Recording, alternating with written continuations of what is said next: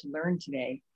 And um, I'm excited for NKA. I've been a member for several years here in the Boise area.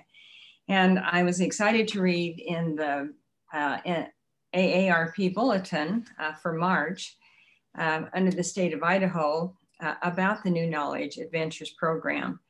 And um, what it says is that it has absolutely increased our learning abilities. Uh, the pandemic didn't slow us down because it's proved uh, that we can still have enriching opportunities virtually. So I'm really grateful for that opportunity and grateful that Sheena, uh, kudos to you for setting this up and we'll see us through safely. And also to our uh, presenter. Um, before I introduce her, there's just a couple of little things. As you know, remember in the other NKA programs, we would always have something to fill out at the end, a questionnaire. And that will not be the case this time. Also, um, Dr. Bargan has said that if you have questions, um, please type them in in the chat and then we'll uh, deal with them at that time um, that you type them in. So uh, without further ado, um, I'll introduce uh, Dr. Bargan because she can tell us about her background and what we can expect today. So um, take it away, Dr. Bargan. Thank you, Carol. And there are actually two of us um, that will be presenting today. I will get us started um, and then Tally um, will finish us up and then we'll both be able to answer questions um, as we're going or at the end as well. We should have plenty of time at the end, I hope. I shouldn't have said that out loud. Now we'll be running. Um, so my name is uh, Gabriel Bargan. I go by Gabe, and I am an associate professor of audiology at Idaho State University. Um, I reside on the Meridian campus, um, so I don't get a I don't get to go to Pocatello too much, and I have not gone there at all um, in the last year or so. But um, I, the Idaho State University programs on the Meridian campus are definitely growing, and we're expanding every year. So, um, my so as a side note, um, my I, specialty is definitely pediatrics. So um, I'm I'm more biased to the little ears, uh, but um, the good thing is when we are born, um, our ear uh, for the inside part of it, it's already fully grown. So um, nothing really changes with that ear on the inside um, from when you're born to as you age, except unfortunately we sometimes lose our hearing. So that's what we're going to talk about today. Um, and then I will briefly introduce Tally. And then if you have anything else to add, Tally, feel free. Um, Tally Roteman is one of our amazing PhD students um, in the Rehabilitation and Communication Sciences program. And I am blessed to have her as one of my students. And so um, she's going to uh, help with this presentation today. So Tally, did you have anything else you wanted to add? No, just to thank you for the lovely presentation of me and just to say that I'm coming from Israel, so sorry for my accent. Everybody, I hope you can adjust it rapidly. We'll meet again in, the, in the... All right. So I will get us started. And um, as Carol indicated, if you do have questions, feel free to type those into the chat. Um, we you know, hearing is a very broad category. And so we might not touch on everything that you have that um, you have questions on. So feel free to um, put those in the chat. If they have to do with what we're talking about, we'll probably address them as they're asked. Um, if it's if it's way off topic of what we're talking about, I might save it to the end um, so then we can bring it back in. Sound good? All right, let's get started then. Okay, well, I already did this, so we can skip the slide. Alrighty, so we're gonna try to, um, I want to introduce the auditory system. Um, so our hearing um, system, just talking about the different parts and um, where problems can occur in that system. We'll talk about presbycusis, or that's the fancy way of saying hearing loss as we get older. Uh, we're gonna talk about that connection between hearing and then our ability to, um, to think, that cognitive uh, portion. So um, that really is what we're gonna spend probably the majority of time on today, that, um, and Tally's gonna share that with us.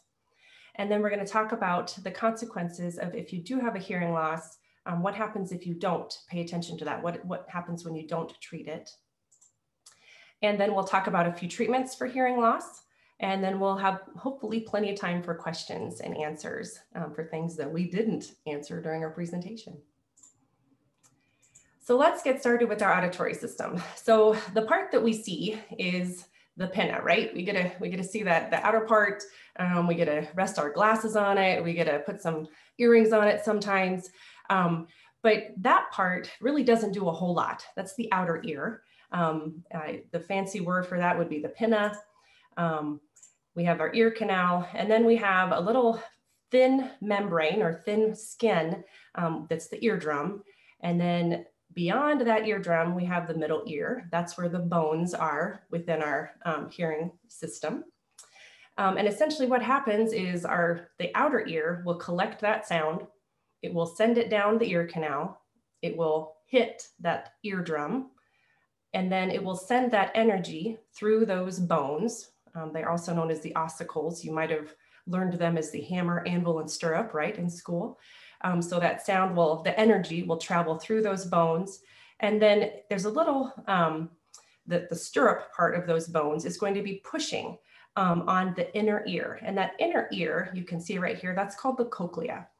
That's really where the hearing occurs. So essentially that energy goes into the cochlea and then the cochlea is connected to the nerves.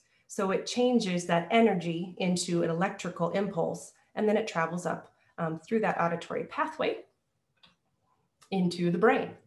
And so our ear does a great job of collecting that sound, of changing it into an electrical form that our brain can understand. And then once it gets to our brain, our brain adds important information to it, right? It says, ooh, that sound is my dog barking. I better go let her out um, so I don't have to clean up after her, right? Um, so we have to have our ear to collect that sound, but we really have to have our brain to make sense of it. Our brain is really what does a lot of our hearing, um, and it's important uh, part of that auditory system. Now we can have breakdowns at all parts of this system. Um, so the outer ear, the middle ear, and the inner ear. And then also beyond that, the neural portion or the, the connections, right, to the brain can have breakdowns. Um, just before we got started, there was a question about earwax. Earwax can cause hearing loss. If you have too much earwax that gets built up um, in that canal area, it can essentially stop the sound, right, from going in. Um, so that needs to be taken care of once in a while. And I always tell my patients, earwax is normal. It's okay. Don't be embarrassed by your earwax. We all have it. Um, sometimes you just produce too much of it. And so it has to be removed sometimes. Um, beyond that, the middle ear, um, has anyone ever experienced an ear infection? I know I have. I think that's how I got into this profession. Um, but um, usually that happens most often with kiddos, right? Um, with the, our young kiddos, they experience um, middle ear infections, but they can persist into adulthood as well. my father actually experienced a lot of ear infections in his 60s and he had to get ear tubes put in in order to drain that fluid. And then once it was done, then it was gone. But um, for some reason, he just had a bout of it. Um, beyond that, um, in the cochlea, um, if there's damage that occurs in that cochlea, that's our sensory um, organ essentially for the hearing. And so if there is damage within the cochlea, you might have heard of hair cells. Um, so there are hair cells within that cochlea. And if they are damaged, they typically cannot be fixed um, that is what's going to cause permanent hearing loss. So hearing loss that happens within the cochlea is referred to as sensory neural hearing loss. Hearing loss that I talked about previously, so in that middle ear or the outer ear, that's referred to as conductive hearing loss. So if you've gone to the doctor and they indicated that, that's, that's just the indication between the, the different types of hearing loss. Usually conductive hearing loss, there's something medical that we can do um, to, to alleviate that, to fix it. Um, but in the with sensory neural hearing loss, that's usually not fixable. Um, you're going to have a permanent hearing loss that needs to have some aural rehabilitation in order to, to get to fix it or to um, hear better. Um, additionally, and we're going to talk about this a little bit more, but um, these pathways in the brain, they can also be affected. Um, so if damage occurs in that auditory pathway leading up to the brain, um, then you can have a hearing loss as well. Uh, sometimes those pathways will be hurt um, or injured uh, by a stroke or um, if any, somebody has maybe a traumatic brain injury, so a car accident, um, those kind of things can happen. Um, multiple sclerosis. So those kind of um, injuries or conditions can cause um, problem to that auditory pathway. And again, typically that is going to be a permanent hearing loss. And so a different type of intervention, it might be hearing aids, um, it might be something else, um, maybe just therapy um, to try to build up those um, pathways again can occur to try to, to help with that type of hearing loss. All right, any questions about that before we move on? Because I want you guys to, to understand how your body's working before we move. Okay. Um, oh, I, I should have practiced these before because here it is. So we already talked about the conductive hearing loss. That's in that outer or middle ear.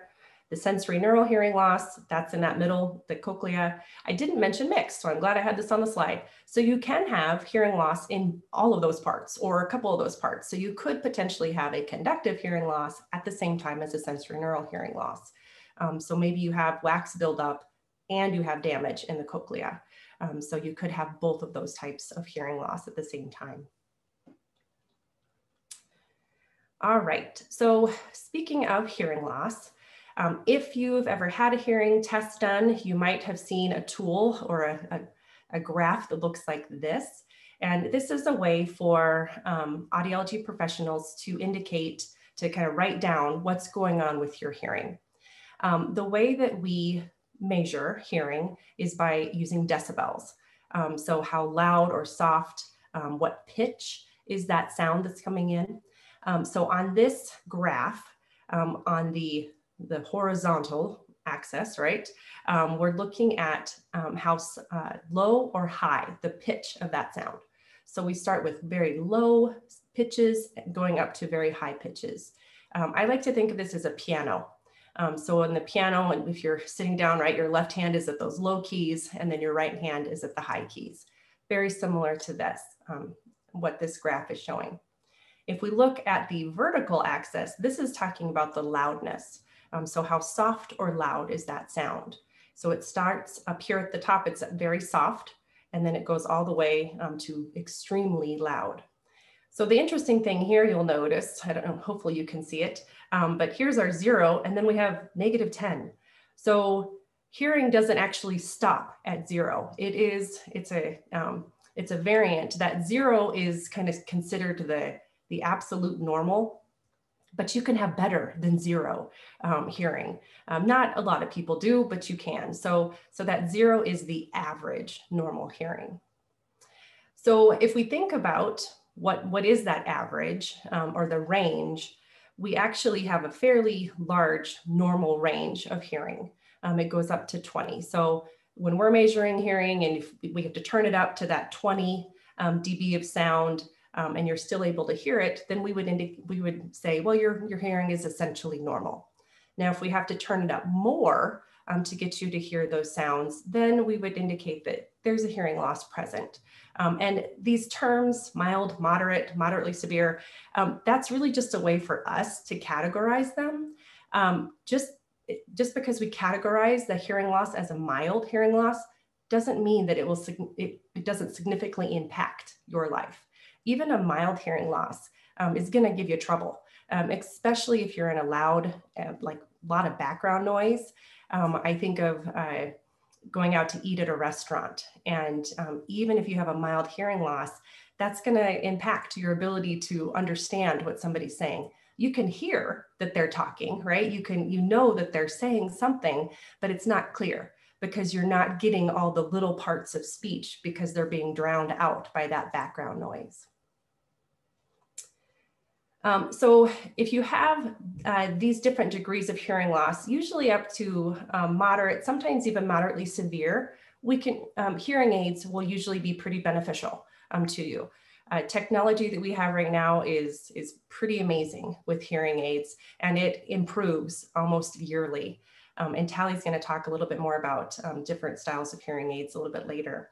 Once you get into the severe, actually moderately severe, severe and profound range, um, sometimes hearing aids work, but typically you're going to have to do something more. It might take a cochlear implant at that point um, in order to be able to have usable hearing um, with that. And we're not going to go too much into cochlear implants today, um, but if you do have questions about that, I can certainly provide a resource um, and connect you with an individual that can answer questions about that. All right, so I wanted to give a demonstration of what, it, what does this hearing loss sound like? Um, so hopefully you have your volume at a, at a comfortable level on your computer.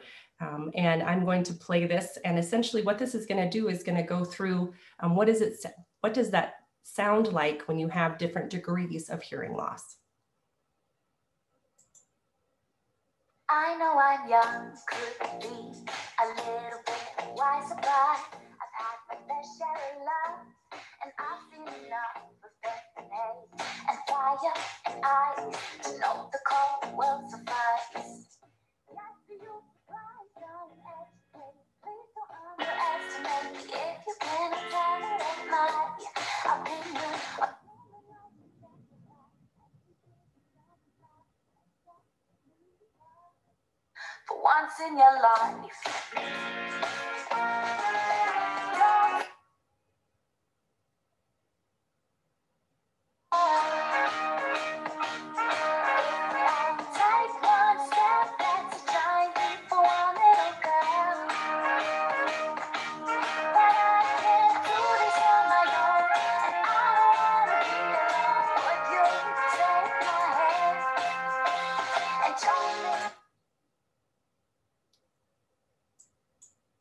Oh yeah, there we go. Okay.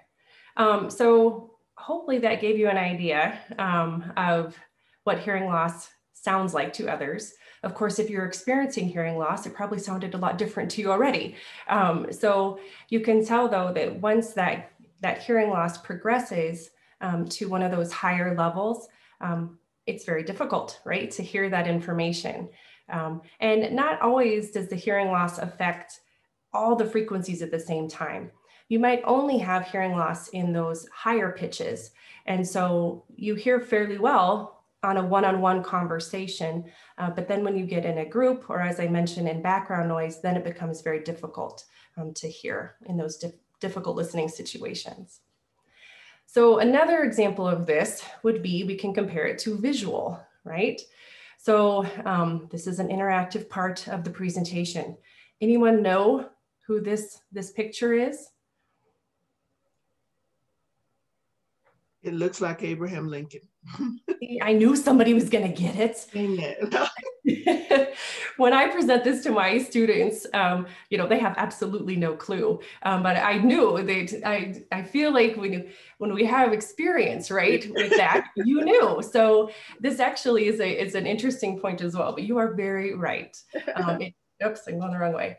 It is Abraham Lincoln, but um, you can tell here that visually, you know, if we have a little more details and you have more details, there you can see him, right? Um, but Shayna, why did you know? Why did you know that was Abraham Lincoln? Um, uh, I think, well, first of all, we do a class on presidents and um, first wives, and, and so we, we see those pictures all the time. But um, I I just think the shadow over on the, the side there with the beard and all, I think. Um, just an old lady, and so I already know, seen a couple of things. Well, you're an experienced lady, and you had oh. the experience with this picture before. Uh-huh. So that's another thing with hearing. So even as we're losing our hearing, if we have that experience with that information before, um, if you meet your neighbor every day as you're going for a walk and you always talk about grandchildren, you know that's coming and you have that information that you've talked about before. And so you can fill in sometimes those missing pieces that you might not catch all of those that information. Um, but then of course, as it gets clearer and clearer, then you're going to hear it better. Um, so that's one of the things that we we do have um, as we are experiencing life. We have that that past experience that can help us when we're understanding speech and communication. Um, but we have to work a little bit harder, right? Um, if, if if we don't have that full uh, message. It takes us a little bit more thinking time um, to, to fill in those pieces and, and makes our brain work. But good job. Um, most of my students cannot guess who that is because they don't have that experience. And the other thing with Abraham Lincoln is there's not very many pictures of him. So this is a pretty common picture that we see of this individual. All right, so presbycusis. Um, so hearing as we age. No, we're not talking about Presbyterians. Don't anybody get excited. Um, but we're going to talk about presbycusis. So what that is, is it's just a fancy way to say a decline uh, in our hearing as we age. Uh, it's one of the most common conditions that affects um, individuals um, as they are experiencing life. It actually affects one in three individuals. Um, so at between the ages of 65 and 74, at least a third of those individuals are experiencing some degree of hearing loss.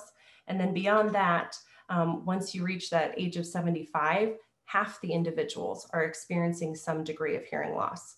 Um, so if you are experiencing hearing loss, I promise you, you are not alone. So that tells you like how many people are experiencing at those ages, but when does it start? Um, when does hearing loss um, essentially start to be a problem? Is it not till we're 75 um, or is it start sooner?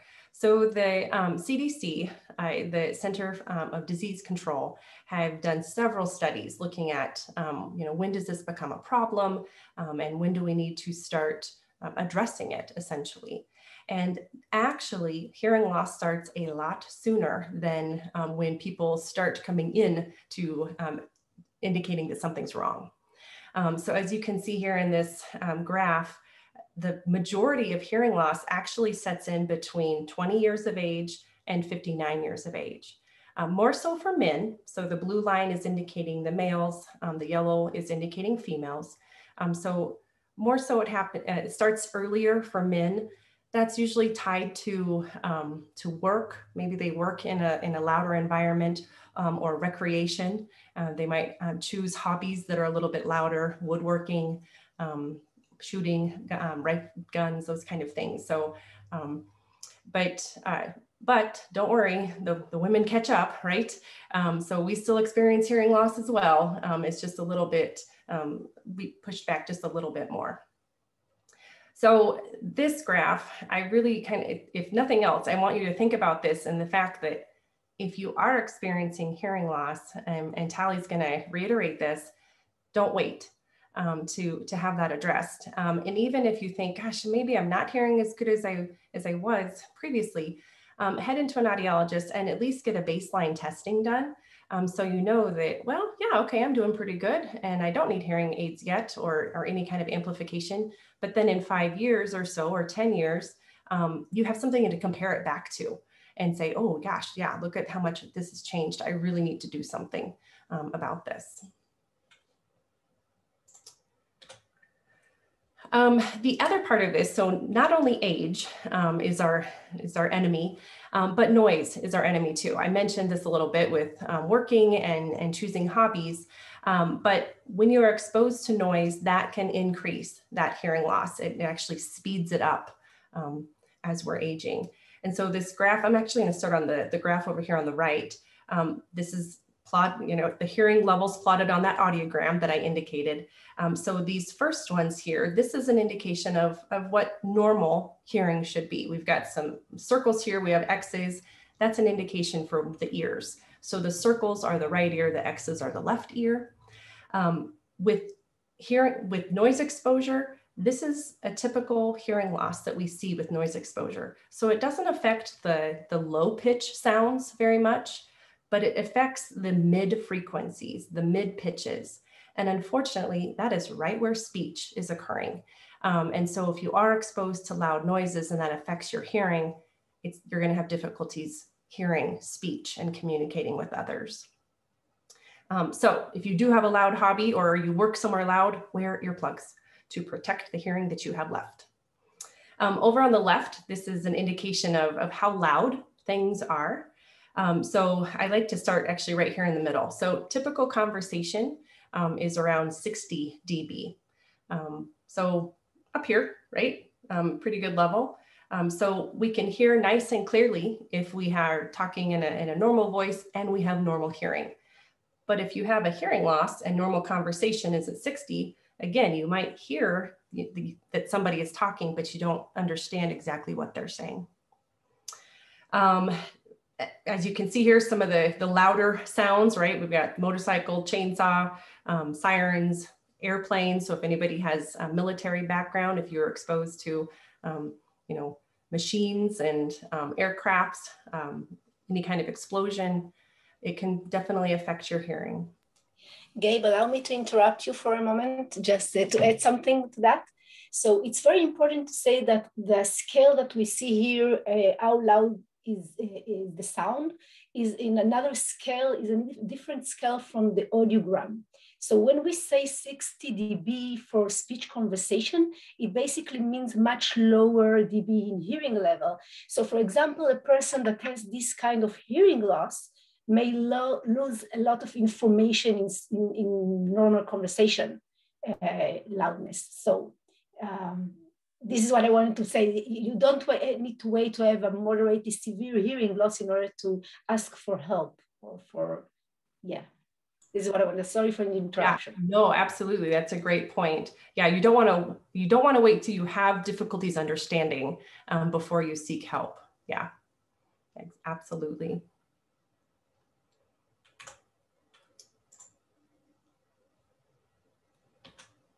There we go. All right, so noises um, plus age, they happen all the time, right? Um, so at work, um, if you go to concerts or um, if you enjoy listening to the orchestra, um, you can still experience hearing loss if it's if it gets too loud. Um, if you listen to music in your house or in headphones, just don't turn it up too loud. I always tell my my students if you're listening to your headphones and um, the individual next to you, if you reach out your arm and touch their shoulder, and if they can hear the headphones, it's too loud. You need to turn it down. Um, going to sports events, right? That's a very loud um, environment. Um, I put I, Boise State's in here. I almost put Nebraska Cornhuskers, but I figured I would tail, tailor it to the audience. I at work sometimes even just a desk job or I not just um, so it, it, doesn't have to be just in a manufacturing plant that you're exposed to that noise. It could be other places too um, that you are being exposed to noise. Um, so all of these things uh, can add to just the experience um, of aging, right? Um, so we just need to be aware of those things. And if you know that you are gonna be a noise, protect your hearing. So some common signs of presbycusis is, I probably mentioned most of these already, but um, misunderstanding you hear that they're talking, you know they're saying something, but you're just not sure exactly what the message is. Um, lots of issues with noisy background. I mentioned the, the restaurant, um, sometimes even shopping. Uh, you'll be going down the aisle and you might, and somebody's talking to you, but there's music overhead, there's, you know, people putting things on the shelves and you can't understand it because of that noisy background. You can't hear high pitched sounds. So um, we mentioned the, the audiogram with the low pitch sounds going up to the high pitch sounds. Usually the high pitch sounds are affected first. Um, so if you're talking to, to a male who has maybe a lower voice, you don't have any troubles hearing him, but perhaps you're talking to a female and they have a higher pitched voice or a, a child and they're difficult to understand. That's because their voice is higher. And so that's going to be a little bit more difficult um, to understand because that might be where you're, you're experiencing hearing loss. Ringing in the ear or in the head, if you hear that ringing or a static or cricket sounds, um, that's referred to as tinnitus or tinnitus. Um, you can say it either way. It's in the dictionary both ways. Um, I usually go with tinnitus. Um, that's how I was taught. Uh, but that ringing in the ear is actually an indication that something, there's a problem in the, the auditory pathway um, somewhere that has caused damage and that ringing is a product of that damage. There are still lots of theories out there. We don't really have a specific, this is what's causing that tinnitus. Um, but uh, we know it exists and it does exist. People experience that. Um, and we do have some uh, remedy or uh, therapies and um, rehabilitation that can um, focus on reducing that, that perception of the tinnitus. There is no cure for tinnitus, unfortunately, but there are things we can do to reduce um, reactions to the tinnitus and also reduce the perception of the tinnitus.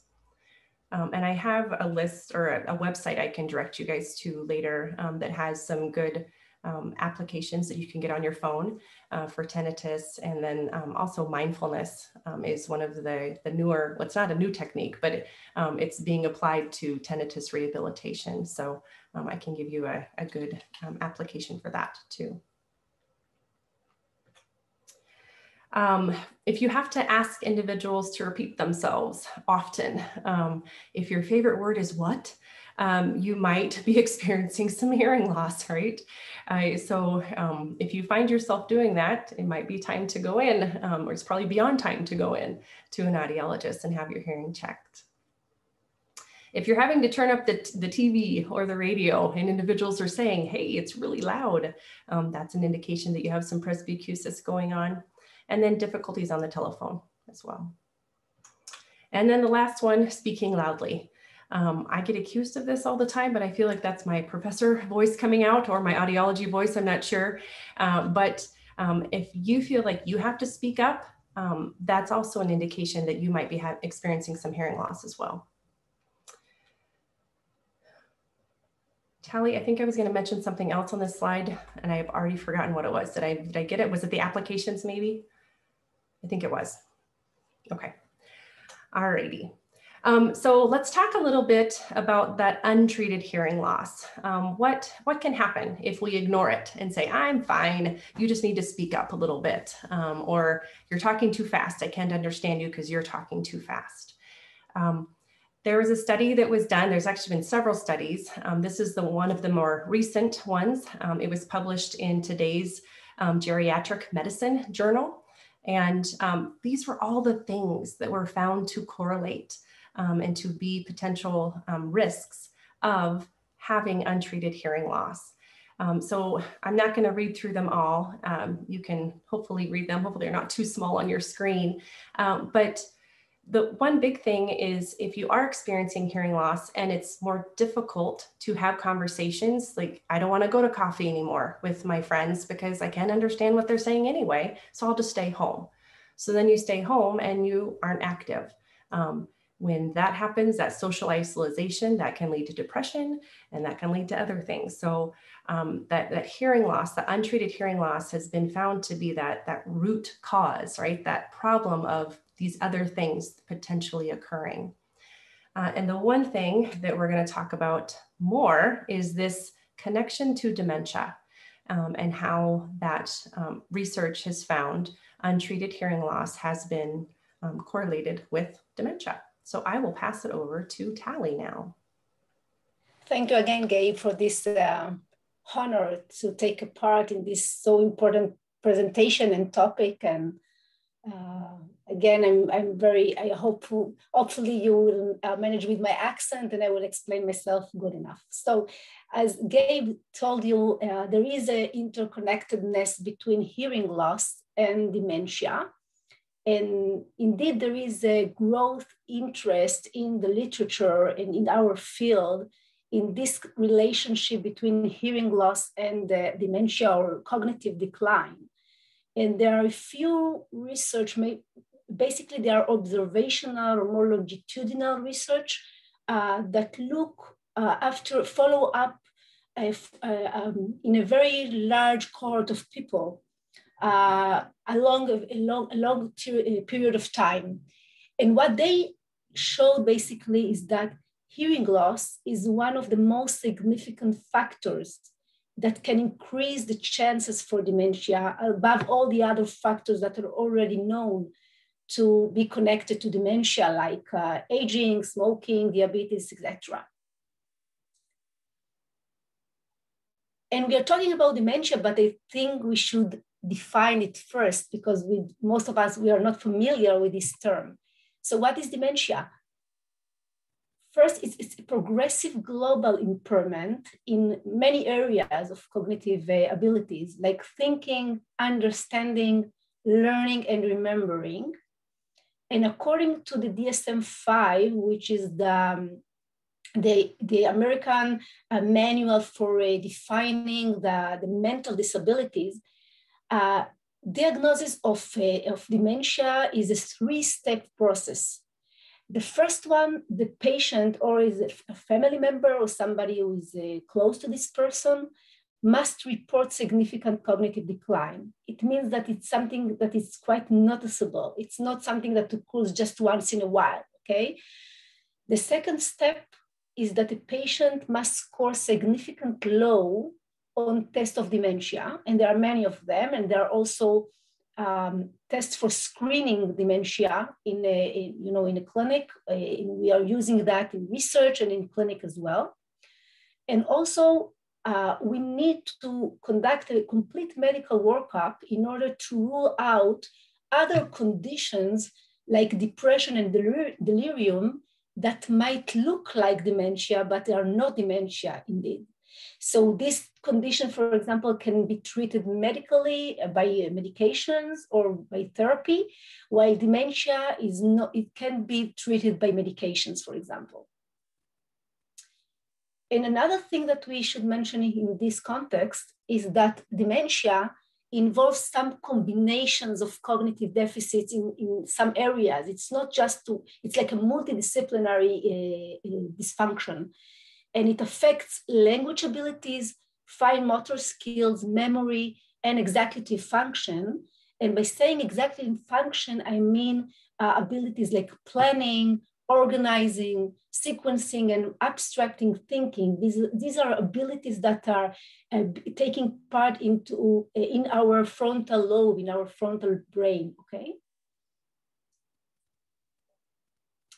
Now we can say that hearing loss and dementia have common characteristics. First, uh, both of them, there are clinical presentations of a disease or dysfunction. Uh, when we say that the, the, hearing loss occurs mainly in the auditory pathways and uh, dementia occurs in the brain pathways, but basically it's quite difficult to distinguish between both of them because as, as, as Gabe mentioned before, when we try to listen in a very challenging uh, listening converse, uh, uh, situation, we need both of them. We need hearing and we need cognition as well uh, we can distinguish between them. So basically, when somebody has a dementia, we don't know if it occurs because he has a hearing loss or just because he has deficits in his cognitive abilities.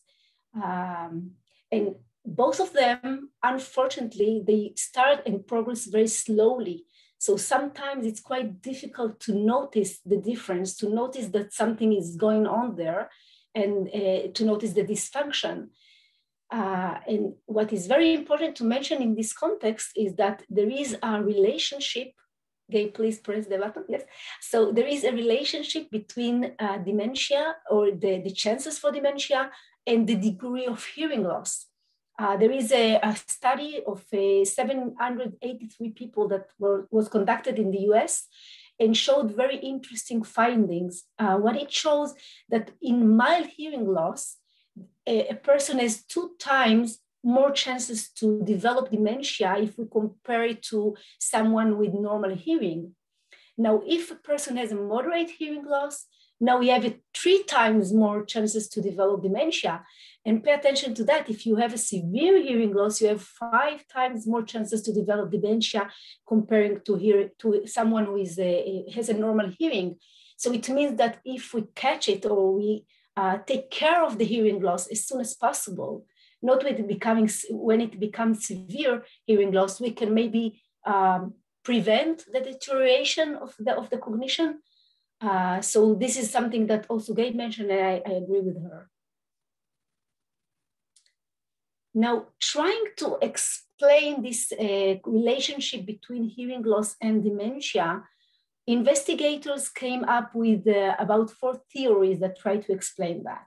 So the first one uh, is talking about uh, a mediation effect between hearing impairment and cognitive decline by cognitive load.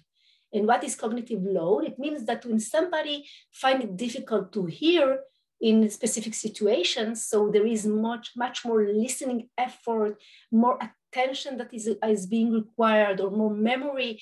And this cognitive load, this is what causes the cognitive decline. Another thing that we already talked about is that uh, both of them are uh, changes in, in brain pathways. You can call it auditory or you can call it brain, but, but basically are, they are the same because everything happens in the brain. So maybe because of the of the uh, decline in the auditory pathway, we can see only, only dec also declines in other brain pathways as well the third theory talks about that, that hearing impairment causes, as, as Gabe mentioned, social isolation. Okay, somebody will find it difficult or struggle to hear uh, in, in, uh, in normal hearing situation, like in a restaurant or in a social engagement. So most of the time you, you, you would say, okay, I will stay at home. I will isolate myself from this situation and then I won't be embarrassed by, the, by this, uh, uh, these situations. So being social isolated can lead to depression. And we know that depression and social isolation are, are, are one of the most significant factors that can lead to cognitive decline above hearing impairment. And the last one talks about maybe parallel pathways, maybe hearing impairment and cognitive decline just share common etiology or a common risk factors that cause both of them, like aging, diabetes, hypertension, microvascular diseases, and, and so on. So it's not that something causes the other, but both of them just occur simultaneously. And this is just a small anecdote that I found in the, in the, in the internet about what causes what, what is the egg and what is the chicken here. Uh, so he says, okay, yeah, but what if I can't remember if I have a hearing loss? Okay, so I have a hearing loss, but I can remember that. So, okay, so this is just a, a small joke. Um, so what does the, what do these results mean basically? It's very important to emphasize that. First, I want to emphasize that there is no evidence that hearing loss causes dementia. Okay, we are talking about correlational relationship and not causal relationship. Okay, and but we do know, Gabe, uh, that for individuals that age 65 and older, okay, that they are in the gold in the gold age, uh, and have hearing loss, they are more likely to acquire dementia. So it's very, very important to treat the hearing loss as soon as possible. Now, what about the connection between dementia and hearing aids? Okay, so first we need to, um, uh, to emphasize that there is no conclusive evidence uh, that suggests that hearing aids slow down cognitive decline. This is something that I have been asked a lot in the clinic when I worked in Israel as a clinical audiologist. Whether if I if I wear hearing aids, it can assure me that I won't have any cognitive decline. So I can. It, it, this is not evidence based yet. Okay, there are uh, there are in the literature in our field few, a few longitudinal studies that try to examine that, to explore this issue, but still we can't say that wearing hearing aids can prevent this cognitive decline. Um, but we do know that hearing aids do seem to improve the psychological behaviors and activity levels for individuals with hearing loss. And this is also a very important thing, the contribution of hearing aids. And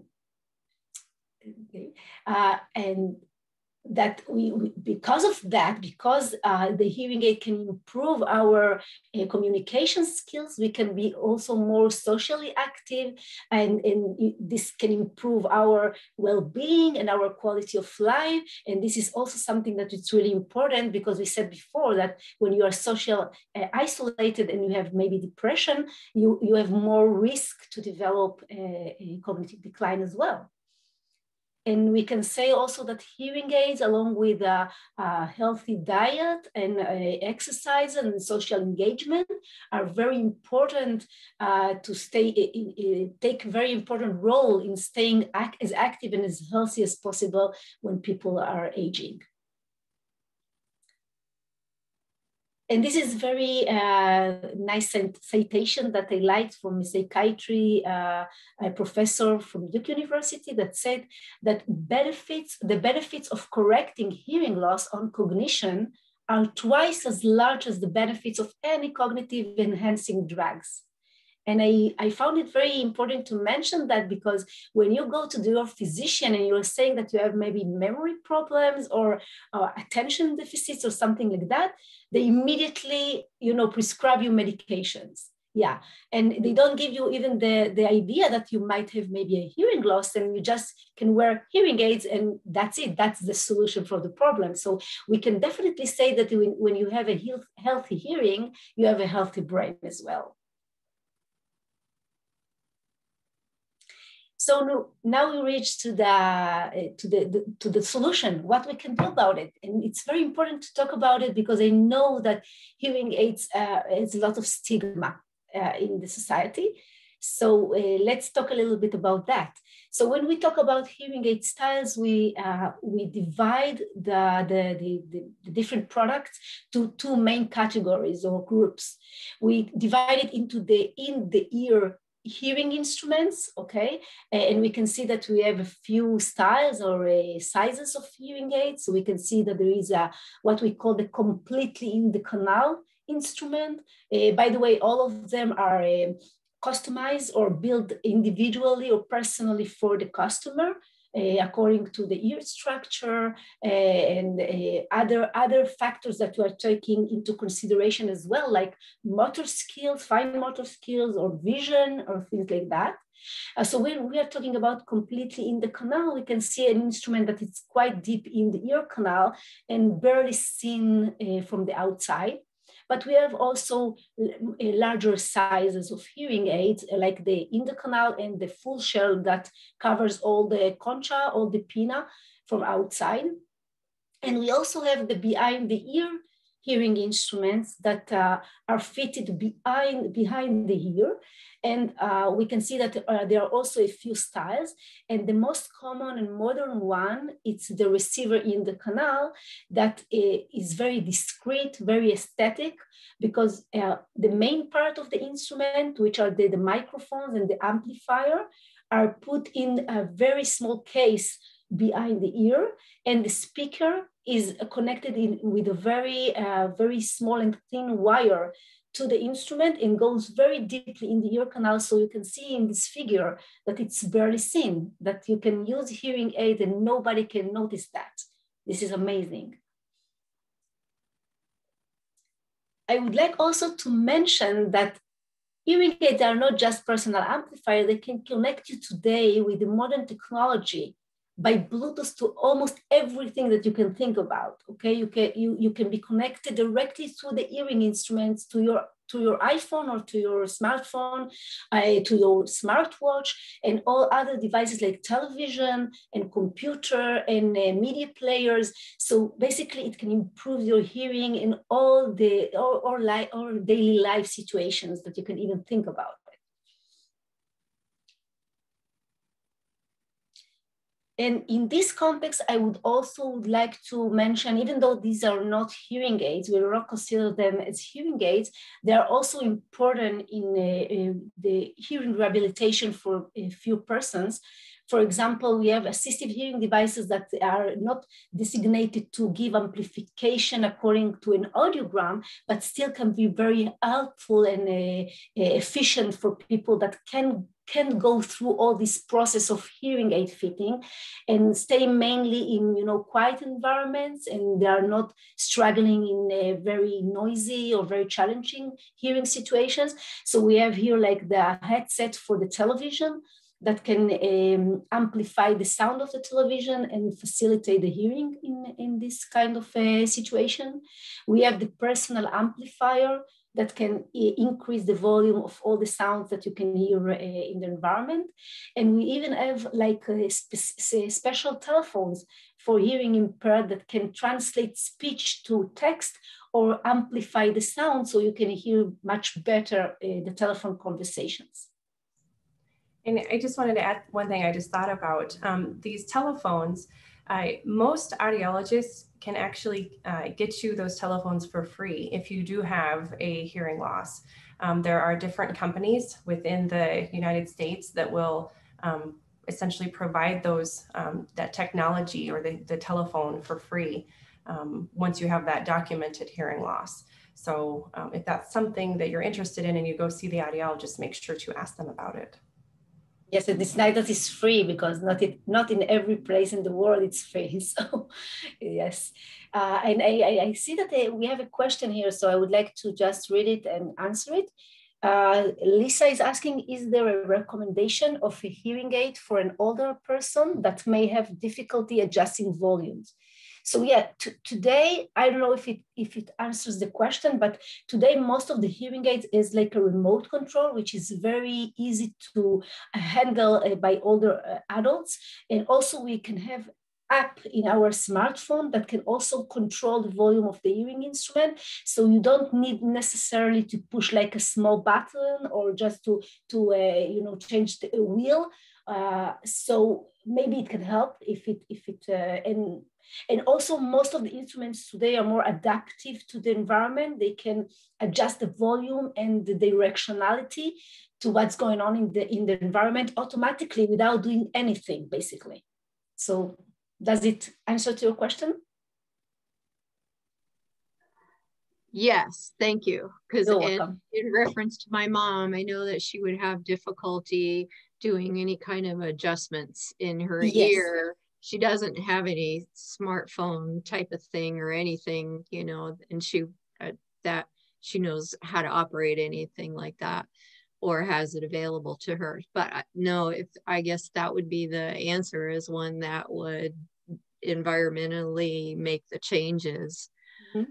So yeah. Yes, and besides today, I um, it's today the hearing aids are very sophisticated in that manner that we can give amplification which is uh, designated to different input levels okay so for example if the instrument uh, detects uh, a low input level it gives more amplification than if it's a high input level so it automatically adjusts the, in, the, the gain or the amplification according to the input level. So most of the time, the customer doesn't need to touch the volume control. It's just, you know, like psychologically needed because we, we, we love to feel con- to have control on things, but most of the time you don't need to do that.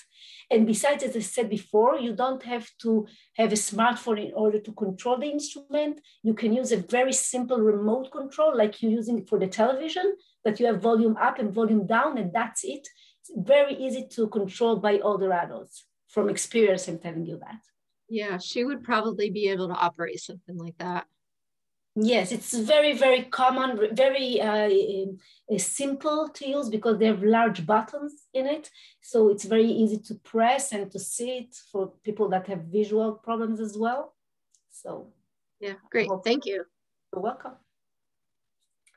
Um, and as you can see also, listen, this, this slide that we have also the option of personal amplifier, that it's not a hearing instrument, it's more uh, like um, analog instrument that you can just turn a wheel up and down like in a radio and it's much easier for other artists to uh, operate so maybe it can help her as well. So uh, just to summarize. Sorry, I was just going to add so that those personal amplifiers that we have a picture of here in the middle, um, they really are not, they don't cost that much typically. Um, I used to tell people to go to Radio Shack, which Radio Shack doesn't really exist anymore. Um, but I, any place like that would have this type of personal amplification system. And it's, as Tally said, it's, it's analog, it's very basic. Um, the sound comes in and it's louder um, and you just turn up the volume to however loud you want it to, um, to be. Uh, but that is uh, sometimes a good option for individuals that maybe they're not ready for hearing aids or they, they feel like they can't afford hearing aids because there is a cost associated with hearing aids. Um, so this is um, it can be an option sometimes. You can also find it very easily on Amazon or any on websites. And uh, I can tell you that in Israel, I used to sell uh, this kind of uh, amplifiers that is an American product that's called a Pocket Talker. It's it's even much it looks much modern than this one.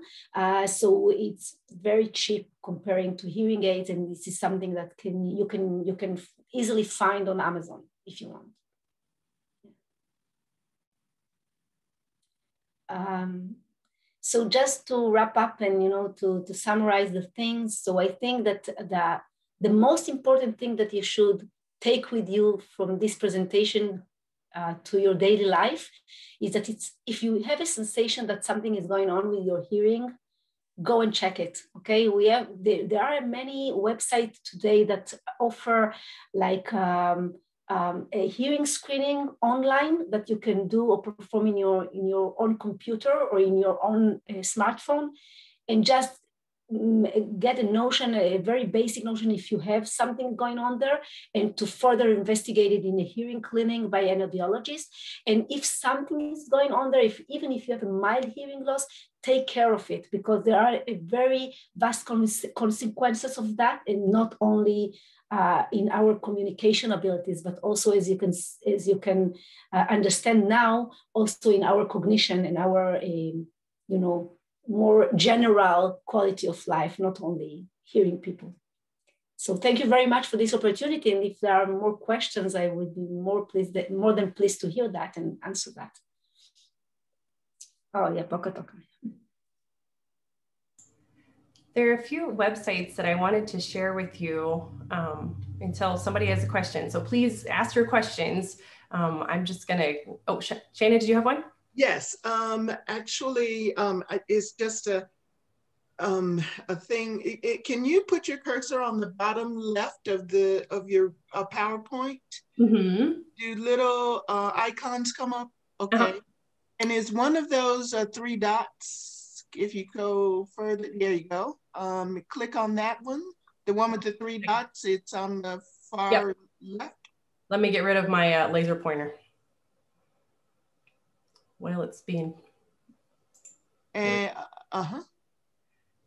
That three dots, and then one. Does it say? Um, well, I don't see it here. I it. Um, um, we've accidentally discovered that um, in PowerPoint in um, uh, slideshow there is a function that will um, type out whatever you're saying at the bottom of the screen. Oh. And we uh, seriously just fell on it. We were, we, somebody was doing something else and we saw these things and it, it's called um, um, like closed caption or something that you would normally uh, think of it. But uh, anyway, I, I, will find out more about it and let you know because I think that you guys probably probably could use that. Um, it was like it was just like that, three dots, and one of the options was to um, um start typing the words that I'm saying. And so the people who already had hearing loss would see it right down at the bottom. Yeah. That's I, I, I have not seen that on PowerPoint before, so I will have to uh, do some looking into that. yeah, I'll let you know. Okay. The the one thing that is cool, and I'm glad you mentioned that, uh, is that all TVs, and I can say that um, with enthusiasm, all TVs have closed captioning. Um, that's a requirement that is um, been uh, passed by uh, the American Disabilities Act. So um, that's one thing that you can do. Uh, if, if, somebody's complaining that you're uh, turning the TV up or somebody you know uh, is turning the TV up um, too much, if they can um, turn those captions on, that can help. Um, there's been lots of studies that have looked at visual information and hearing information. And if you can have both of those together, your comprehension or your understanding of information is much better when you have both. Great. Mm -hmm. All right. I see all you here. What questions do you have? You came for a reason. Did you get all your questions and, and thoughts answered? Well, one, one question that I have is, um, is it normal to have, um, my hearing is um, in one ear is uh, much worse than the other one. I don't know why. And um, in fact, one of I should probably have a hearing aid in the, the one ear. Um, when you is it normal just to have a hearing aid in one ear, or, or do you normally um, end up with both of them? And are there any um, any uh, challenges with just having one? Tally, do you want to answer that one? Yes, this is a good question. yeah. Uh, so first, I always said to the patients that if you have symmetric hearing loss or asymmetric hearing loss, but both of them are with hearing loss, so you should wear two hearing aids. Okay, it's because the sum of the bilateral hearing, okay, when we hear with both ears, it's not like adding one to one and you get two. It's more than that because the brain integrates the information that he receives from both ears. And it's really important for us to many abilities in the real world, like listening in noisy environment or uh, localizing sounds in the environment you probably experience the, the, the, the, difficulty to localize sound in the environment because of your asymmetric hearing loss, right? Mm-hmm. If the telephone is ringing, you don't, you can't say, tell where it's coming from. Mm-hmm. And this is because you don't have a symmetric uh, hearing in both ears. Mm-hmm. So if you have one one ear with hearing loss, you should wear one hearing aid. But if you have both them impaired, so you should wear both hearing aids, definitely. Great. Yeah. Great, thank you. You're welcome.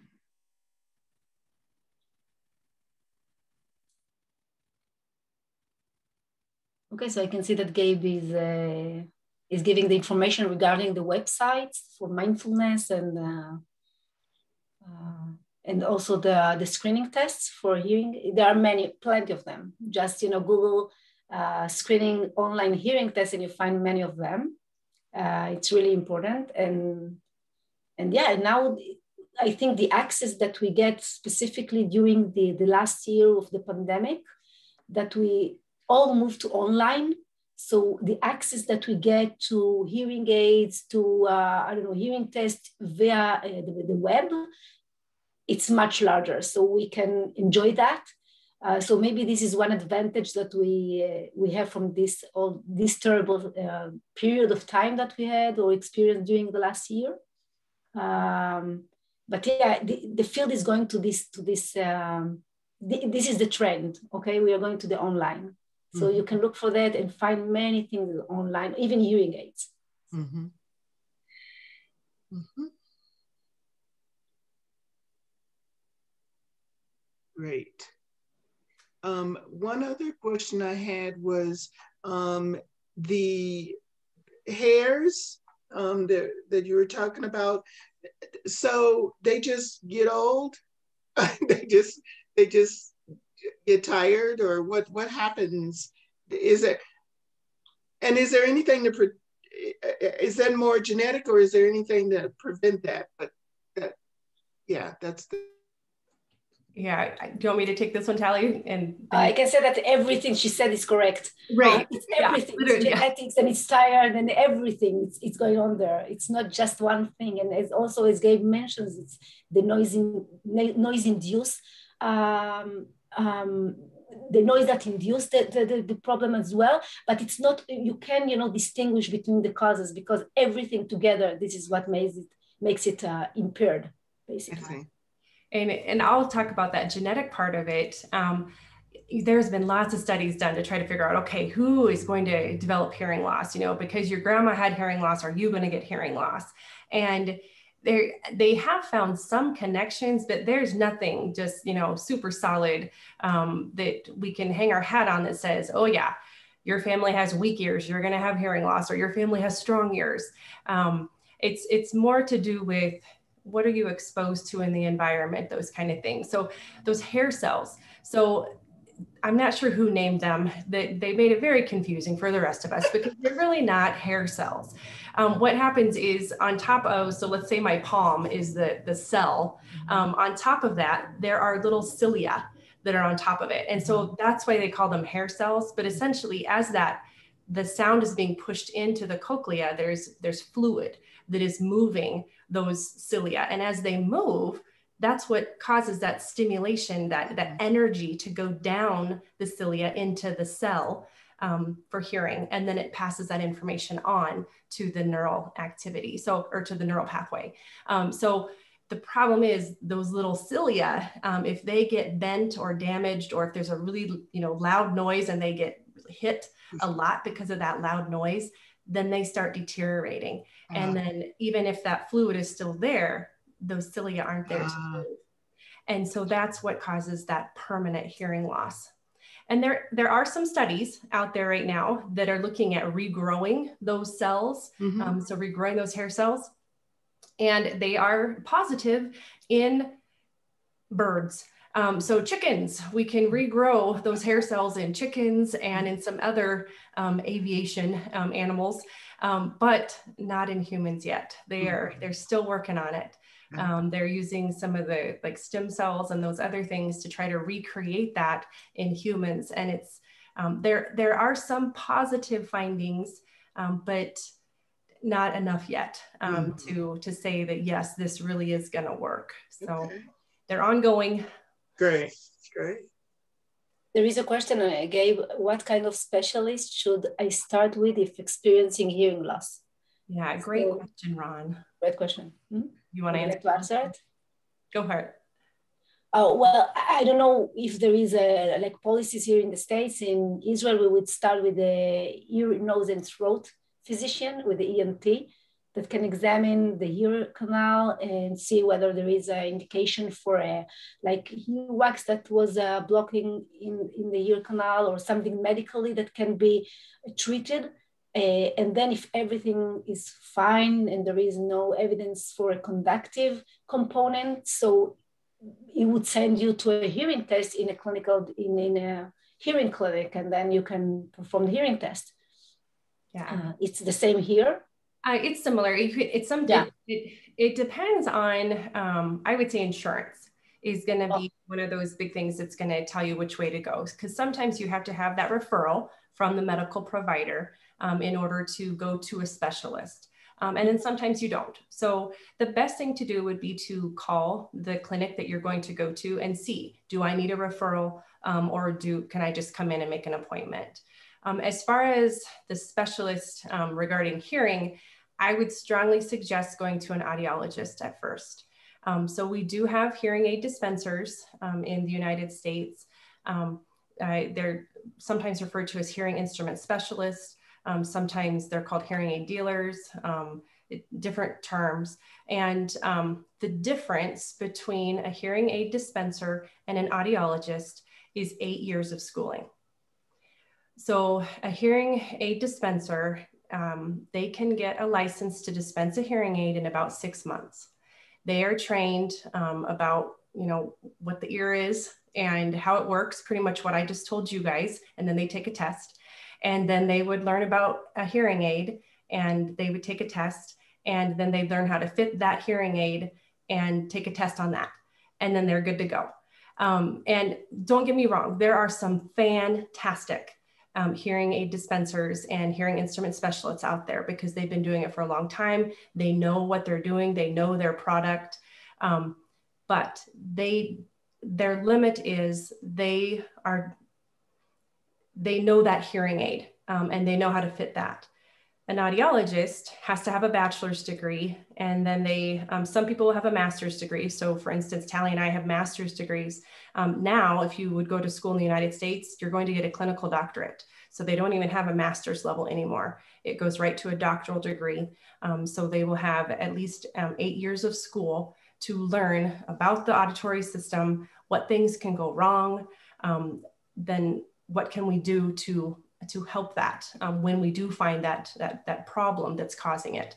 Um, audiologists are going to look more at the whole individual. Um, what's potentially causing that hearing loss? Could it be connected with something else? Um, there are a lot of um, conditions out there that hearing loss is the first thing that we might see. Um, and we, we diagnose that hearing loss and then we say, you know what, you need to head back to your primary care physician and have a full workup and with the knowledge of you have a hearing loss is there something connected to that? Um, is it a heart condition? Uh, is it an undiagnosed heart condition that could be connected with that hearing loss? So audiologists are going to learn the the more of the the why is that hearing loss happening and get to the the cause of why it's happening. So my strong advice would be to go to an audiologist at least for that diagnostic part of it um, and understanding what's going on with your hearing. Um, a lot of people will choose to go to the hearing instrument specialist because of cost. They think it's going to cost less to get that hearing aid from that individual. And uh, on the, the surface, yeah, it might, it might look that way. Um, however, a lot of those individuals, you are only buying that hearing aid and then they wave goodbye and they don't provide anything else to go along with that hearing aid. Um, the audiologists, most clinics, I know at least everybody here in the Treasure Valley, um, audiologists, if you buy a hearing aid from them, you are, they will take care of you for the life of that hearing aid essentially, or for the warranty of that hearing aid. Um, most hearing aids come with a um, three year warranty. Um, and then they also have packages that you can buy um, extended warranties on those as well. but essentially, every time something goes wrong, with that hearing aid, you can come in and you don't have to pay for an office visit. Um, they're going to take care of that hearing aid and take care of you. They want you to come in. Um, they want you to come in every six months just to check to see how it's going, um, to see if your hearing has changed, those kind of things. So, um, so if you are shopping for a hearing aid, um, don't just look at the price point of the hearing aid. Also find out what comes with it, um, that because that needs to be in your decision making. And I can tell you this because I don't sell hearing aids. So I don't have a bias anyway, and I'm not trying to sell you a hearing aid. I just know what comes behind it um, when you're purchasing that hearing aid. I would like to add something to what you mentioned that we are looking at the person as a whole. This is a very important point because when we fit hearing aids to a person, we don't look only on the audiogram, on the ears. We are looking at all the person, at all the abilities.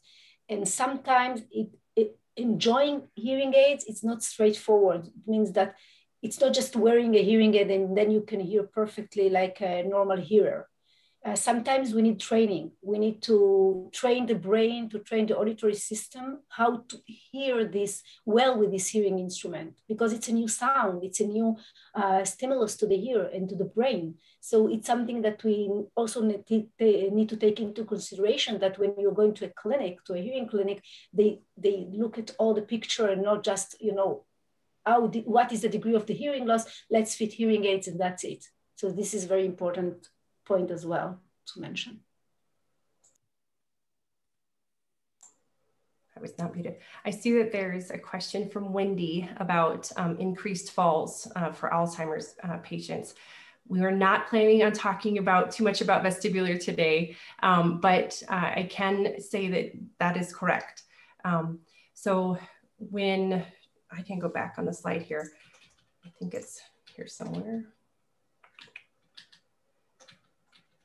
So our balance system, um, also called the vestibular system, is connected with the hearing system. So sometimes when you have that hearing loss, your vestibular system can be affected as well. Sorry, of course, it's like the first slide. It is the first slide. There we go. Um, so right here, you can see the um, that cochlea, right? That inner ear portion. And then we can't see it very well because of the angle of this, but connected to that is this area. It's called the semicircular canals. And that's your vestibular um, sensory, right? Um, there's also some other areas here um, referred to as the, um, the saccule and the utricle. Um, but those, all those things together are your vestibular system. And absolutely, when those things are affected, when your hearing is affected, um, you are going to have an increase um, for falls. And actually, um, falling uh, is one of the, I, I, think it's the highest um, risk for developing other problems, right? Because we all know that when you fall, it's not just oops and getting back up.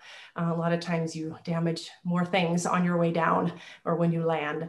Um, so I can't speak a whole lot to the, the vestibular system, Wendy. Um, that is definitely not one of my specialties. That's another thing that um, audiologists, even though it's a very small part of our body, um, we have specialties.